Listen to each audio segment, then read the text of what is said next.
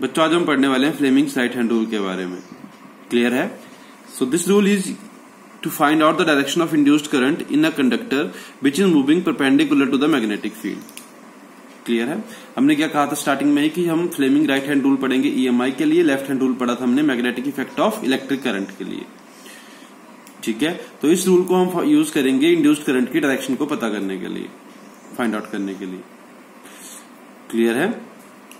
सो ये रूल क्या कहता है? According to this rule stretch the thumb forefinger and middle finger of your right hand in such a way that they are mutually perpendicular to each other जैसे हमने left hand के लिए करा था, वैसे हम राइट हैंड के लिए करेंगे इस तरह से।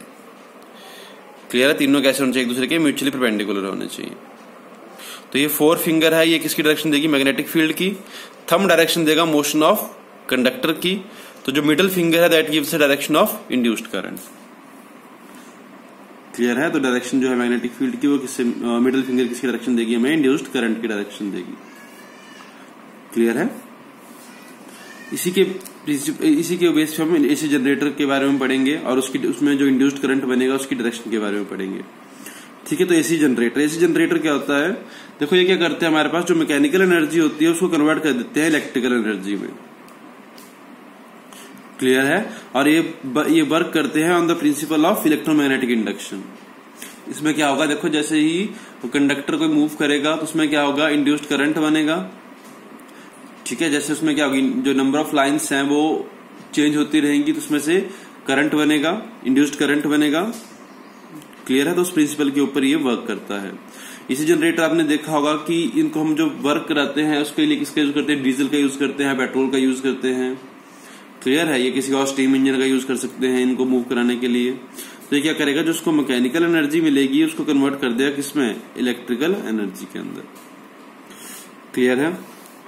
तो कंस्ट्रक्शन में इसमें भी एक आर्मेचर कॉयल लगी होगी same as a DC generator magnet लगा होगा, जिसके अंदर हमने पीक्यू आर एस कॉयल को प्लेस करा है। वहाँ पे हमारे पास क्या होती थी? स्प्लिट रिंग होती थी। यहाँ पे क्या है? स्लिप रिंग्स हैं। जो स्लिप रिंग्स हैं they are electrical component that are use to transfer power to and fro from the rotor of an AC generator ये रोटर लगा है। इसमें से क्या करेंगे? पावर को ट्रांसफ़र करेंगे टू एंड फ्रो डायरेक्शन में। ठीक है स्लिप रिंग्स लगी हैं। सॉरी हाँ ये स्लिप रिंग्स लगी हैं। जैसे कॉयल मूव करेगी तो इसके सर्कल में मूव ऐसे मूव करेगी इसमें। जो स्लिप ये एस टू के साथ कनेक्टेड है किसका एंड तो ये इस तरह से मूव करेगा। क्लियर है? अब देखो इसकी वर्किंग समझा देता हूँ तुम्हें मैं। देखो वर्किंग में क्या होगा इसके अब? यहाँ से मैग्नेटिक फ़ील्ड की डायरेक्शन नॉर्थ टू साउथ ये मैग्नेटिक फ़ील्ड की डायरेक्शन है। ठीक है तो अपने आप अपने आप जो अपने फोर फिंगर्स है, उनको स्ट्रेच करो इस तरह से। फोर फिंगर है, वो डायरेक्शन देगी इसकी मैग्नेटिक फ़ील्ड की थम डायरेक्शन देगी इसके रोटेटर की, और जो मिडल फिंगर होगी, वो हम किसकी डायरेक्शन देगी इंड्यूस्ड करंट क्लियर है। तो देखो, यहाँ मैंने इसको मैग्नेटिक फ़ील्ड की डायरेक्शन में रखा। स्ट्रेच करके इस तरह से। क्लियर है। तो जो थंब है, वो डायरेक्शन दे रहा है किसकी? वो जो हमारे पास ये वाला एंड होगा ये कहा मूव करेगा? डाउनवर्ड मूव करेगा इनवर्ड डायरेक्शन में। तो जो इंड्यूस्ड ईएमएफ बनेगी, वो किस डायरेक्शन में बनेगी? डाउनवर्ड डायरेक्शन में। तो इंड्यूस्ड करंट बनेगा, वो किसकी, उसकी डायरेक्शन क्या होगी? इस तरह डाउनवर्ड तो इंड्यूस्ड करंट इस तरह से आएगा। यहाँ पे क्लियर है इसमें से यहाँ जाएगा, इस तरह से गैल्वेनोमीटर में इस तरह से, इस तरह से, इस तरह से, इस तरह से और इस तरह से सर्किट को कंप्लीट कर देगा। क्लियर है? जैसे ही हाफ़ रेवोल्यूशन हो जाएगी तो क्या होगा? ये हाफ़ रिवॉल्व कर जाएगा तो आर एस यहाँ आ जाएगा और क्यूपी यहाँ चला जाएगा। उस डायरेक्शन उस टाइम पे क्या होगा फिर? अब आर एस यहाँ पे कहा आ रहा था? आउटवर्ड आ रहा था। यहाँ पे आर एस कहाँ जा रहा होगा? इनवर्ड डायरेक्शन में जा रहा होगा। क्लियर है? ये इस तरह से रोटेट कर रहा है ना? इस तरह से आएगा, इस तरह से हो जाएगा। क्लियर तो आर एस यहाँ पे आ जाएगा। जिस तरह से हमने इलेक्ट्रिकल सॉरी जिस तरह से हमने डीसी मोटर में पढ़ा था। उसी तरह से आर एस यहाँ आ जाएगा डाउनवर्ड डायरेक्शन में जाएगा। अगर डाउनवर्ड में जाएगा तो इसमें जो करंट की डायरेक्शन होगी, वो कैसे होगी? रिवर्स हो जाएगी। क्लियर है? आर एस में अब यहाँ पे करंट की डायरेक्शन किस तरह से है? एस टू आर है, वहाँ पे कैसे होगी? आर टू एस होगी। ये पॉइंट यहाँ आ जाएगा। ठीक है? यहाँ पे आर यहाँ पे एस तो डायरेक्शन फिर ऐसी, फिर ऐसे। अब डायरेक्शन किस तरह से जाएगी? इस, यहाँ पे होगी रिंग इस तरह से, इस तरह से, इस तरह से, इस तरह से। तो जो गैल्वेनोमीटर है, उसमें डिफ्लेक्शन क्या हो जाएगी? रिवर्स हो जाएगी।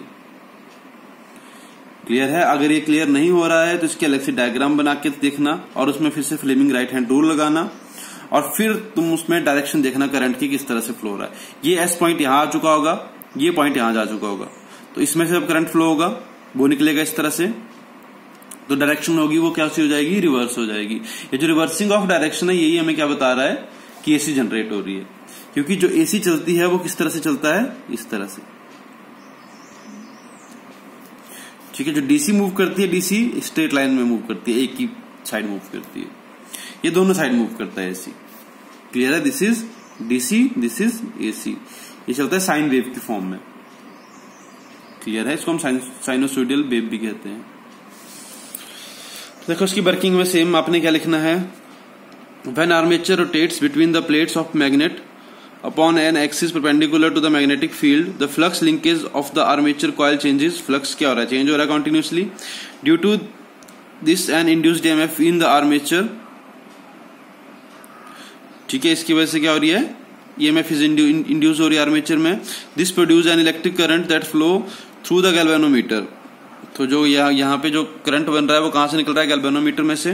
And the galvanometer swing between positive and negative value देखो अब गैल्वेनोमीटर में मैंने आपको कहा क्या? एक बार ये पॉजिटिव वैल्यू देगा, एक बार ये नेगेटिव वैल्यू देगा, क्योंकि एसी है वो। और करंट की डायरेक्शन क्या हो रही है? रिवर्स हो रही है। This indicates that there is an alternating current flowing through the galvanometer तो इससे हमें क्या पता चल रहा है कि जो गैल्वेनोमीटर है, उसमें से कौन सा करंट फ्लो हो रहा है?